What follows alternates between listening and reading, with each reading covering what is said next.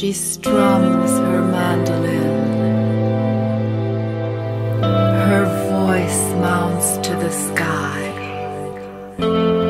audacious and shy. She's trod the shallow streams where fancies drown your dreams. She's dark and she is.